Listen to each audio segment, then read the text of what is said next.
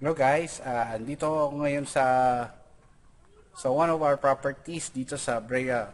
So we handle Brea and Lumina properties all over Bulacan and Rizal. So we can assist you on your property needs. So papakita ko sa inyo yung yung property na to and to show ang kanilang gawa. So ito na ho yun.